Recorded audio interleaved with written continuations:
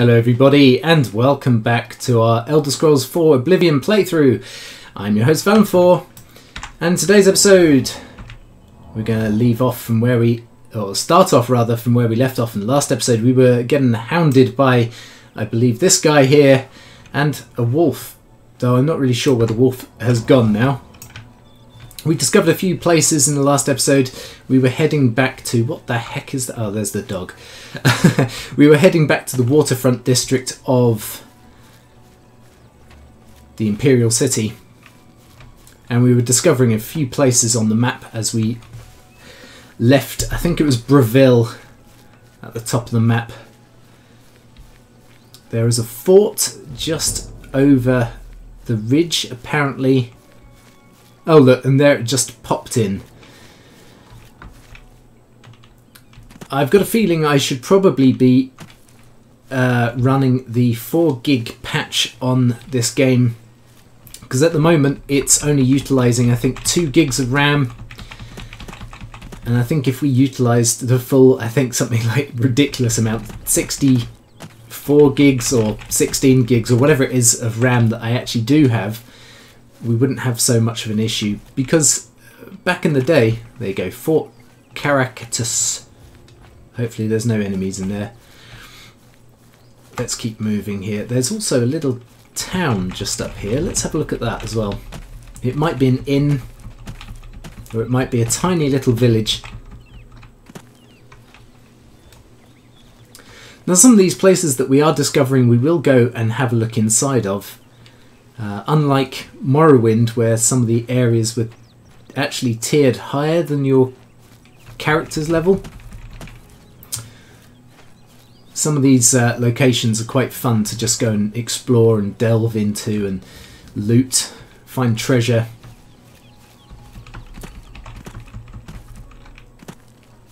Where is this place?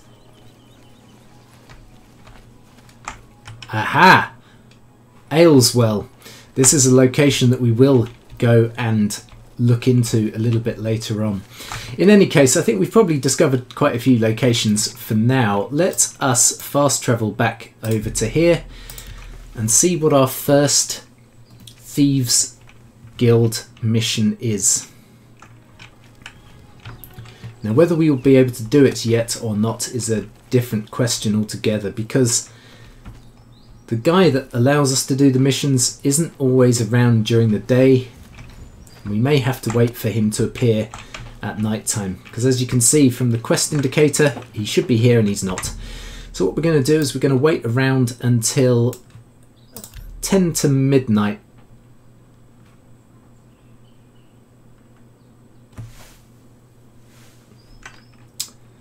So here we go.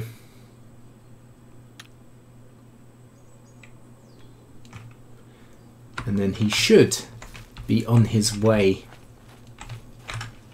to us as we speak. Apparently there's also a cave short distance away from us. Now I could go and run over and talk to him now, however, he's not going to talk to us until he's in his position, so let me just get out of the way. Whack myself in stealth so he doesn't see me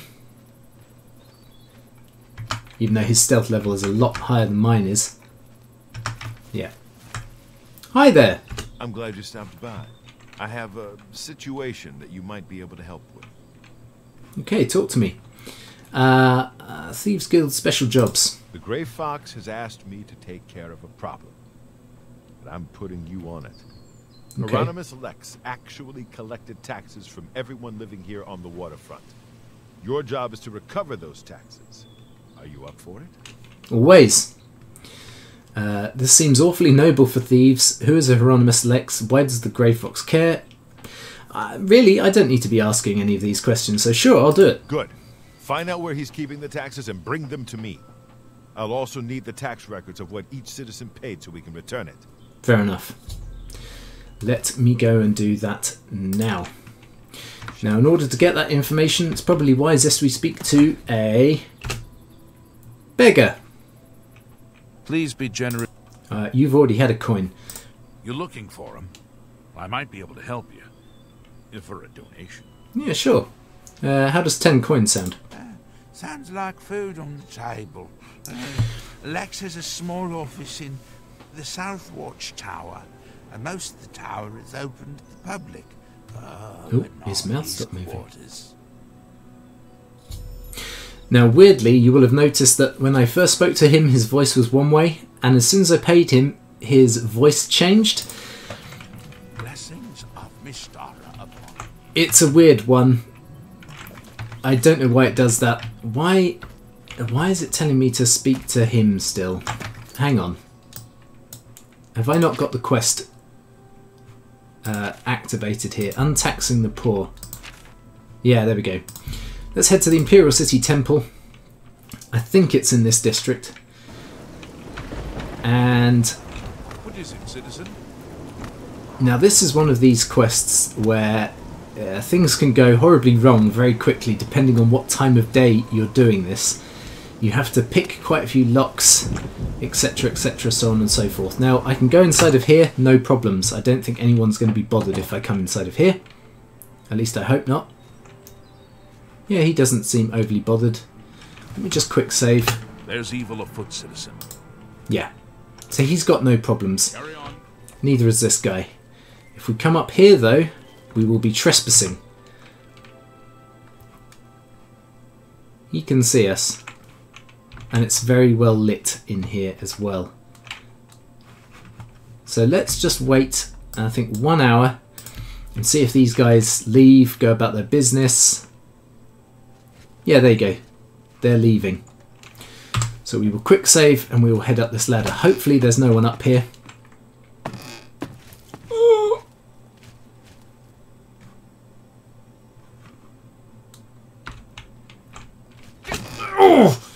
He may have just seen me.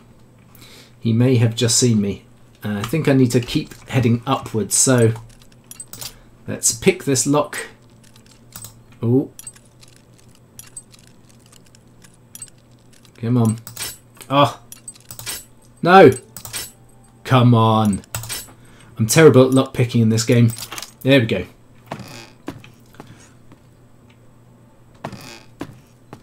There is Hieronymus Lex. And that is the desk that we need to pick. And this is an average pick, so fingers crossed we get this. There we go, and hey! Fantastic. Waterfront tax records and the gold. And then we need to head down, down, down, and as quickly as possible.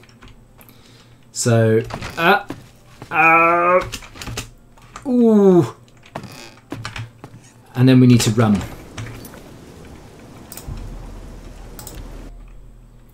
I may need to go and pay off some bounty here.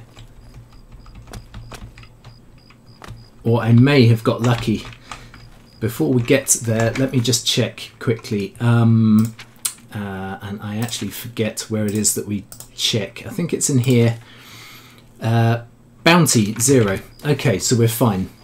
We managed to do that quickly enough. Because if you're caught trespassing, I think it's for more than five seconds, you get a bounty. It's around 20 gold. Have you recovered those taxes? I have indeed. Ah, the Grey Fox will be very pleased. We will make sure this gets back to the people.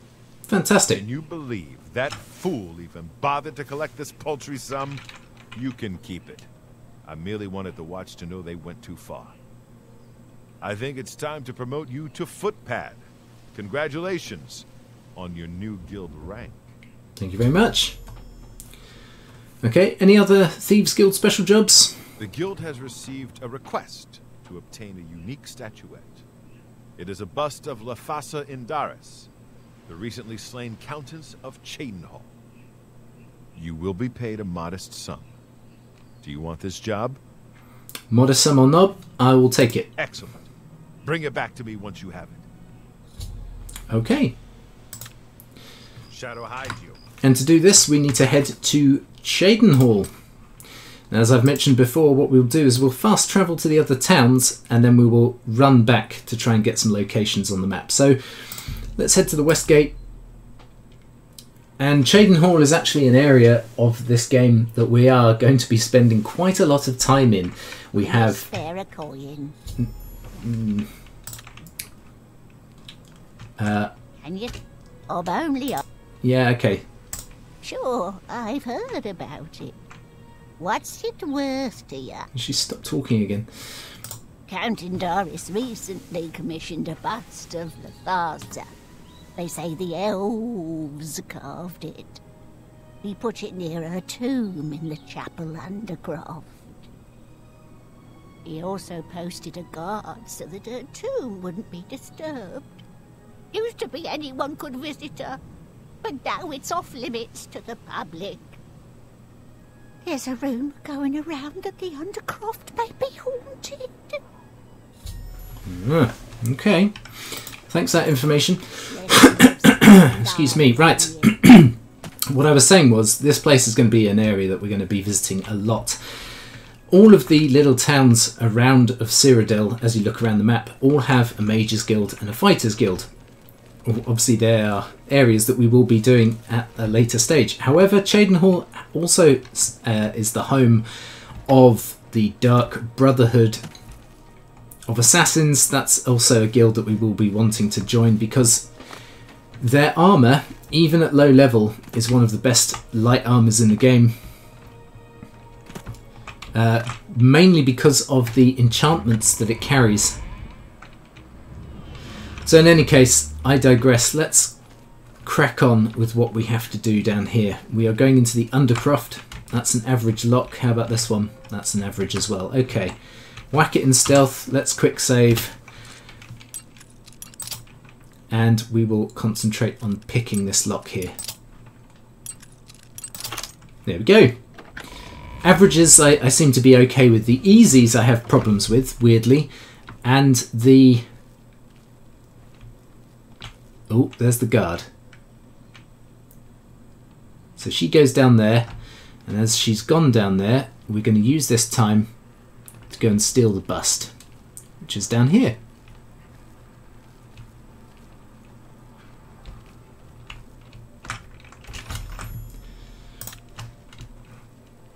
Is she coming back? Nope. I think she's disappeared somewhere. You there! Stop where you are! Oh gosh, she saw me. How? Let me just check my bounty. Well, there's no bounty. Except she is chasing me.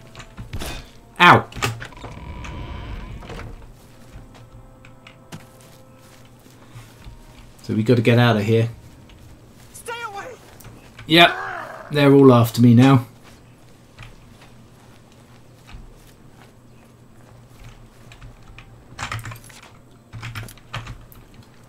Were they after me or were they after the woman attacking me? That's that's interesting if um That is interesting. Let's just see. Is this guard going to attack me? No.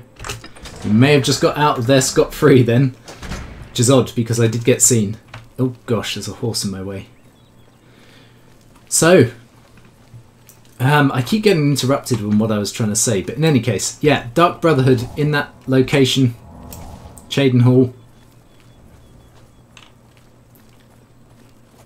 What is it, citizen? Absolutely nothing, mate. I'm just going about my business with the bust of some dead countess in my bags.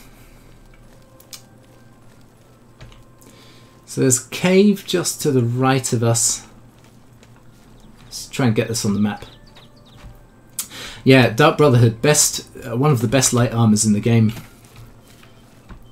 And uh, as I say, to have that armor with its enchantments is really, really useful. It does make the stealth portions of the game, like the certain quests in the Dark Brotherhood and also quests in the Thieves Guild, that much easier.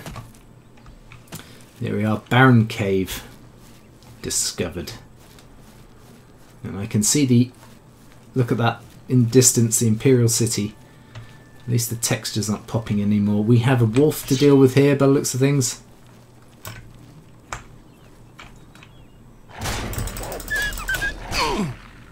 Oh, I thought I blocked that last hit.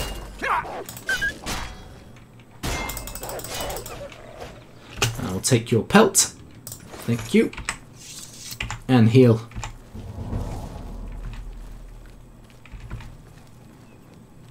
Here we are. And in actual fact, something I did mention, we picked up a couple of other spells here. Have I got some spare room? I do. So let's do that. And I think uh, that. Because on our way, we can be improving our mysticism and alteration.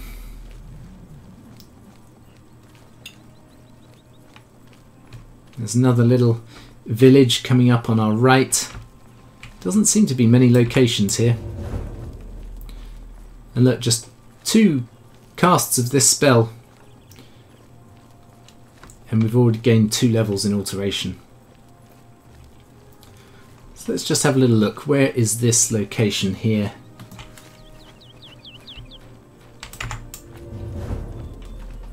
Now, a little bit of um, Roland Jenseric's cabin. Eh? Okay, fair enough. Uh, yeah, no, a little bit of trivia for you. This game uh, was released, uh, as many people know, on both the PS3. It was actually one of the uh, supposed to be one of the launch titles for the PS3, but um, it wasn't finished in time. So it was released about half a year, maybe, after the release of the PS3. Uh, it also came out on the Xbox 360. Interestingly, the Xbox 360 is the only uh, release of this title that carried achievements. The PlayStation 3 did not have um, trophies, trophy support, even though they had said that they would go back and provide trophy support. There's a goblin over there. Let's just head down this way. I think he's seen me. Uh, and what I was going to say was now that we're back at practically the Imperial City, I'll fast travel back to the uh, main location, but of course I can't because we're now in combat. So let's jump over this bit here And there's also a cave just over here. Sideways cave. Oh gosh, okay, there's an imp. Imps are something that I cannot deal with at the moment. Let's just get another couple of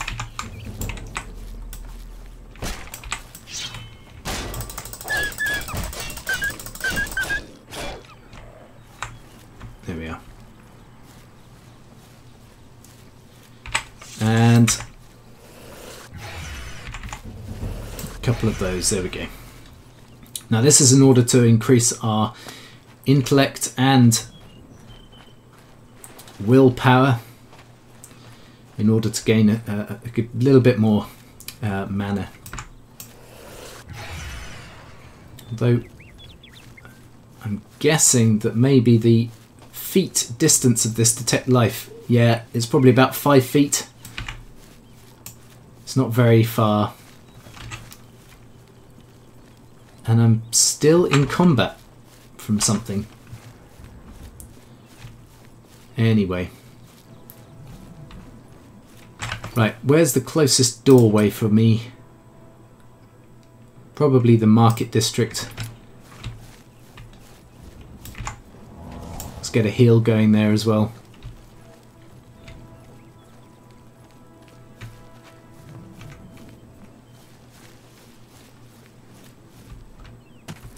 So yeah, no no achievements, trophies on the PlayStation, and in actual fact, no achievements on the uh, Steam version either.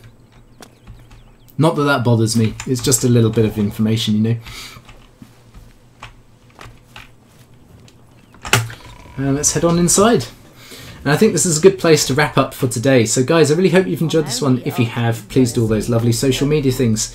Please like, comment, share, subscribe if you are new to the channel, and I will see you next time as we complete this next Thieves Guild quest and move on from here to somewhere else. But until then, take care, and I'll see you next time. Bye bye for now.